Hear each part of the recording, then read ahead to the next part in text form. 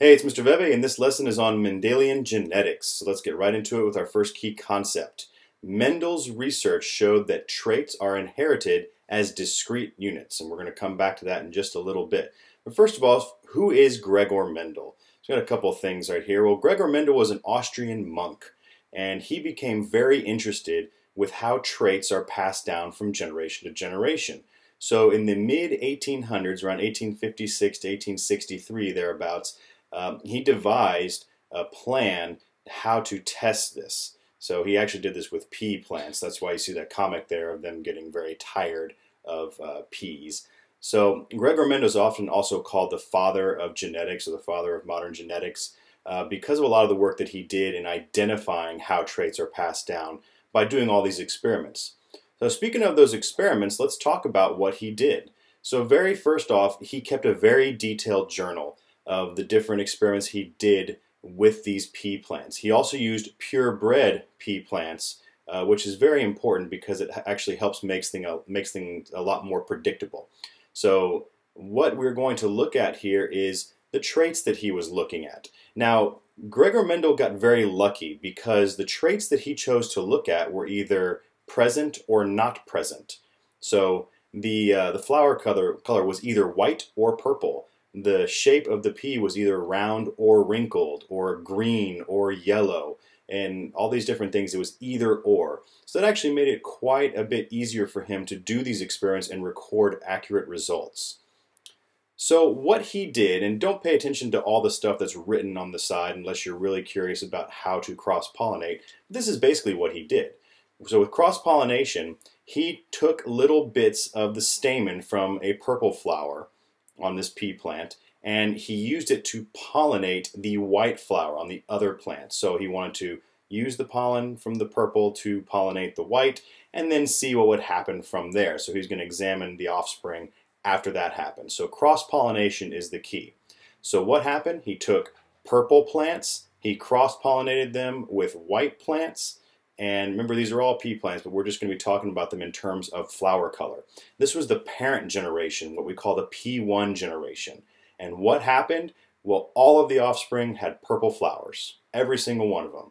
And that's what we call the F1 generation. That is the first generation after the parents. So F1, first offspring.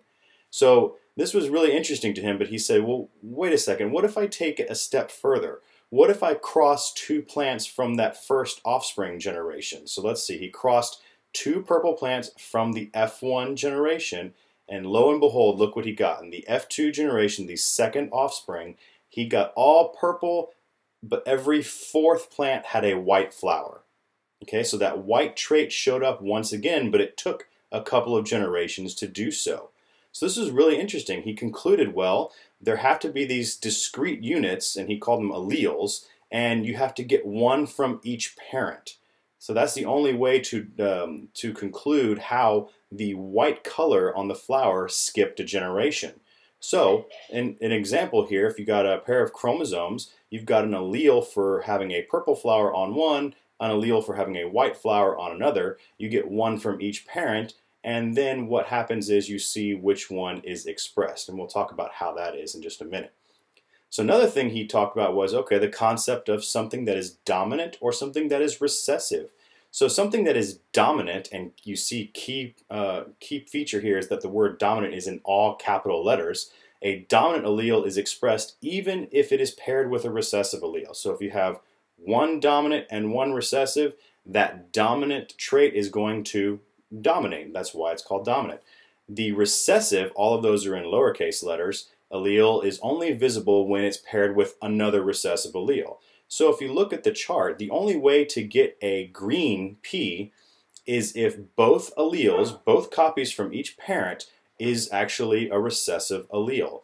Okay, so when we actually write these out, uh, traits, we use um, capital letters to denote a dominant allele and lowercase letters to denote a recessive allele. So this gave rise to Mendel's laws. There's three laws we're going to look at. First law is of dominance. In his case, he's like, there's always one allele that is way more dominant to another. In this case, purple flower was way dominant over white flower. And there were a number of other traits that he looked at, but that's the one we're focusing on right now. The other law he looked at was law of segregation. And that just means that each gamete, after the, the, the plant goes through meiosis to make its gametes, each gamete gets one copy of each gene. So that means the offspring get one copy from the male and one copy from the female end of the plant, and that makes the actual new plant. So those gametes are made, and those genes, and the one copy of each gene is actually segregated uh, independently. And then the last is a law of independent assortment. It should look familiar for you guys, but that just means that um, alleles um, for certain genes are on different chromosomes. So on chromosome 1 is the allele for uh, flower color. And then maybe on chromosome number 4 is the allele for whether or not the plant is tall or short. So not all of the genes uh, have to be on the same chromosomes. They can have all these different um, assortments for the uh, actual genes and chromosomes. So that gives rise to the study of how genetic traits are passed from parents to offspring. That's called heredity. So what are traits? Remember he talked about he wanted to figure out why traits would go from one uh, parent to an offspring. So a trait is a characteristic that is inherited. These are passed from parents to offspring. And if you look in humans, there are certain things that are definitely traits. There are uh, the ability to roll your tongue and the ability, uh, the non-ability to roll your tongue uh, whether or not you have a widow's peak right here in your hairline, attached earlobes or not attached earlobes. All these different things uh, are traits that can be inherited, and we've proven that they are inherited. So a lot of these are really interesting. See which ones you think you have. So genes are what determine our traits. So genes are small se segments of DNA, and uh, those small segments of DNA will have different alleles. Now, the alleles that you have determine what trait is expressed. So if you look at a specific gene and you look at the alleles that you have on that gene, then you will see what trait you will express. So there's a couple different things we need to look at here. So uh, a word homozygous means that you have two copies of either the dominant or the recessive allele. So if you are homozygous dominant, that means for a particular gene, you have two copies of the dominant allele.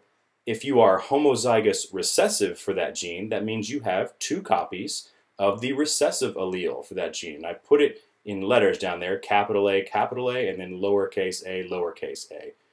The other word is heterozygous. So if you are heterozygous for a gene, that means you have one copy of the dominant allele and one copy of the recessive allele. So homozygous, dominant, or recessive, and then heterozygous. Now, if you are heterozygous, you're always going to express the dominant allele because it is dominant over the recessive one.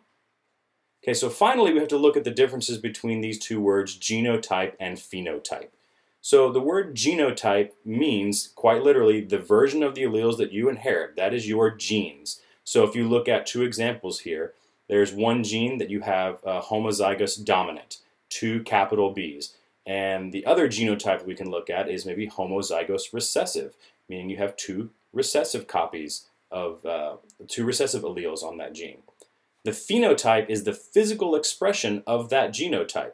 So if we're looking at eye color, uh, maybe homozygous dominant gives you brown eyes and homozygous recessive gives you blue eyes. So the big B, big B, little b, little b, those are your genotypes.